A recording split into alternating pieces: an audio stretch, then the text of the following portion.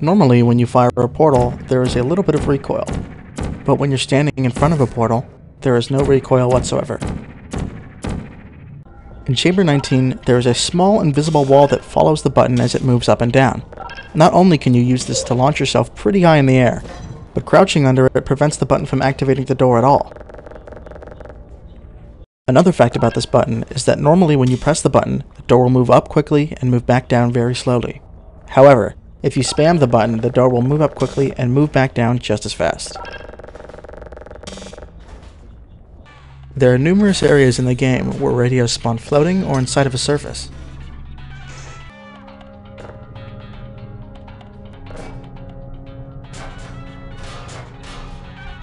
You probably already know that the advanced portion of 17 is still present in the regular version of 17. But did you know that the observation rooms in this area are a remnant of beta observation rooms that contain Half-Life 2 assets, as well as some observation rooms that are totally empty? Another fact about this area is that if you look really closely at the reflections, you may notice that you can actually see things that are out of bounds. This is because the position that would normally be used to draw this reflection is in this hallway that gets removed in Advanced Chamber 17. Did you know that in the map files, there is no test chamber underscore A underscore 12? It skips straight from test chamber A11 to test chamber A13. This probably implies that there was a map that was removed late in development. When the player dies, a ragdoll is created that actually has collision with the environment. However, it normally appears invisible to the player without commands. If you go to the bottom of the elevator shaft in Chamber 6, you can see that it is the only map to have a metal wall where an untextured portalable surface would normally be. In the first of the three escape maps, there are a number of places where you can see pistons clipping through walls.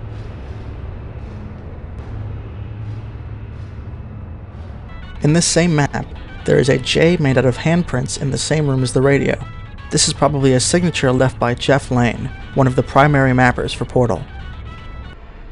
During the last section of Chamber 19, you can actually shoot a portal on this extremely slim portion of this normally unreachable white room.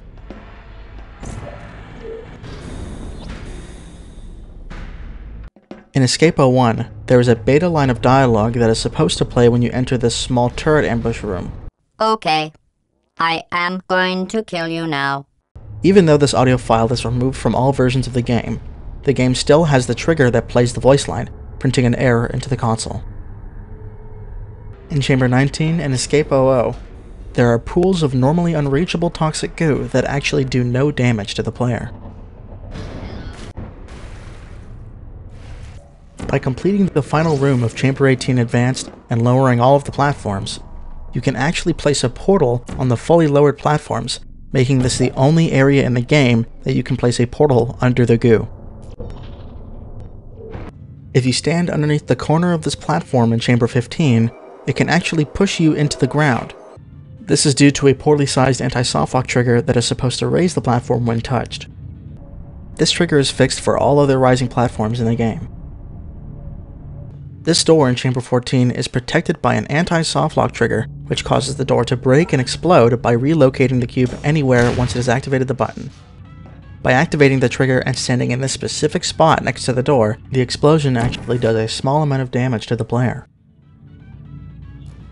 Did you know that you can shoot backwards into this black room in Escape 00, and with either some props or a difficult fling, you can actually activate the load trigger to take you back to Chamber 19.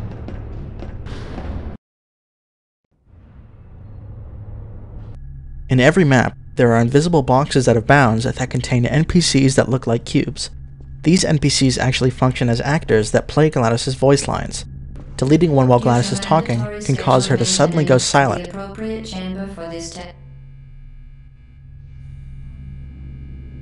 When you suddenly move a prop very quickly while holding it, it should maintain the direction it is facing. However, if you do this while in front of a portal hitbox, the rotation of the object will actually fail to correct itself.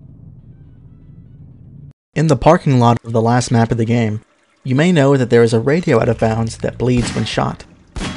This is yet another actor that plays the audio for the ending cutscene, and is actually nicknamed Tim Larkin as a reference to a composer and sound designer for the game. During the escapes, there are a number of gates with padlocks on them that can actually be broken by jumping on them.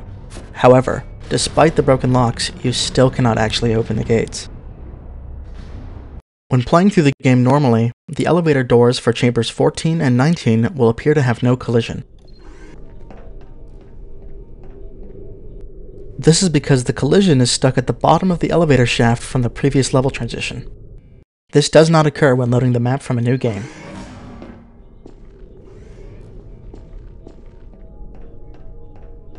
Here's a quick camera fact speed round. Did you know there are 49 cameras in the game, with Chamber 17 having the most at a whopping 10 cameras? Cameras that are attached to walls have to be explicitly told to fall off when a portal is placed behind it with a func_portal_detector. Cameras placed on metal walls don't have this trigger, and will not fall off when a portal is placed behind them. Cameras that are shot off a wall cannot interact with a gravity gun, However, the loose cameras in 17 can. This is because wall cameras are not considered a prop and are actually considered an NPC, unlike the loose cameras in 17. The loose cameras in 17 are actually flipped and upside down compared to the wall cameras. If you take a close look at the collision of the wall cameras, you'll notice that the collision is actually flipped. This is not the case for the loose cameras in 17. Due to the extremely odd bounding box position of the wall cameras, the player isn't able to correctly collide with them. This can cause odd behaviors like making them extremely easy to clip into, really weird sudden deaths, and gaining speed, which can be heavily abused in speedruns. What? Uh, guys? Despite the cameras turning to look at you, their collision remains in the same position at all times. There is actually supposed to be a dialogue line that plays when you shoot the last camera off the wall for the Camera Shy achievement. At the Enrichment Center, we promise never to value your safety above your unique ideas and creativity. However, do not destroy vital testing apparatus. However, most people won't hear this sound play because it only plays if GLaDOS is not talking during any of the times that you shoot a camera off a wall. For more information, make sure to go check out Marblr's video that goes into detail about how this actually happens. This marks the end of the camera speed round. Back to the facts. Weird sudden deaths when inside of a portal hitbox, such as the weird sudden camera deaths, are actually caused by a function called find closest passable space failing. Because the game is unable to find a place to put the player, it deals 10 billion damage to the player. This type of death can be activated in a number of different ways, to learn more about this, make sure to check out this in-depth video by UncraftedName. If you have enough speed, you can pass through surfaces when exiting a portal's hitbox because the game is not able to update the player's collision fast enough. These cube dropper parts in Chamber 19 can actually be used to activate this button. There are multiple parts in the game where the underside of these metal wall tiles are untextured.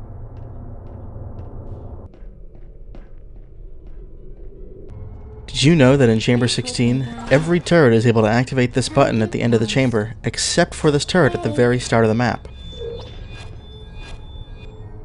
This is because this first turret is named training underscore turret, while every other turret in this map has the name box. Other than the name, there are no other differences between this turret and the rest of the ones in Chamber 16. If you look at the menu background closely, you'll notice that there is what looks to be an IV stand next to the bed, if I use the command ent remove info target, we can actually explore this and other background maps to see that you can actually pick up this IV stand. In Chamber 9, if you place a cube into this ending hallway and go back to the start of the chamber, the cube gets deleted and a new one is spawned as a way to prevent soft locking. This trigger can also be activated in some other ways that may look confusing to new players. Just like the cameras, the rocket turrets also have a totally stationary collision, despite how much they move around. In Chamber 15, you can get inside of this little platform dispenser. Upon entering GLaDOS's room, a massive trigger gets activated that deletes all NPCs, pushables, and physics objects outside of GLaDOS's chamber. Bringing one of the cores outside of this room will result in it getting deleted, soft locking the game. Dying outside of GLaDOS's room while the game is in this state will cause the game to crash because it is actually attempting to delete the dead player. In Chamber 19, there is actually an invisible platform that pushes you up through this pipe. You can use a prop to get this platform stuck, which will cause a soft lock if you try to re-enter the pipe.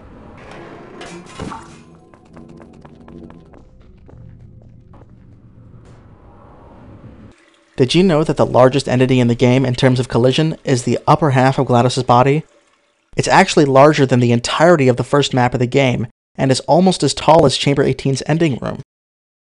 Sometimes when loading into Chamber 4, you can hear the softlock dialogue start playing. You're not a good person. You know that, right? Only to find out that this door in Chamber 5 has already been opened.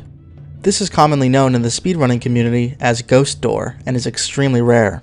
The working theory for why this actually happens is that for a brief moment, the softlock trigger doesn't filter out what is and isn't allowed to activate it, leading to it getting triggered by this radio that sits in the last room, thus opening the door. There are a few areas throughout the game that let you place a portal on a surface you're not supposed to, such as these gratings in Chamber 8 and Chamber 13, this platform in Chamber 11, and this window in Chamber 13.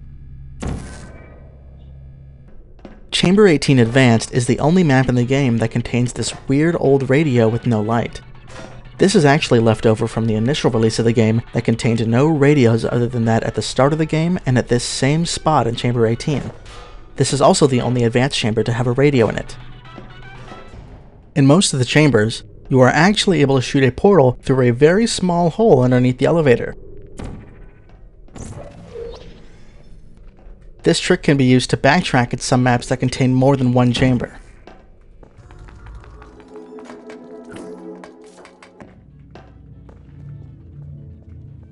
In each map with an elevator, there is a level transition trigger that changes the map when the elevator reaches the top of the shaft. Normally, this cannot be activated in any other way than waiting for the elevator. However, in Chamber 10, the developers accidentally left the Disable Touch trigger unchecked, letting the player end the level early with some tricky movement.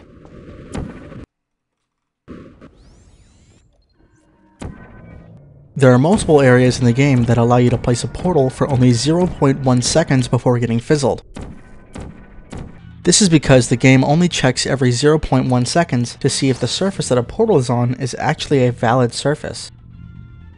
If you're a speedrunner, then you may know that runners often use specific builds of the game to optimize their gameplay. For instance, many prefer build 5135 for its use in making certain glitches significantly easier, while build 3420 allows them to freely maneuver out of bounds for a trick that shaves off almost 20 seconds.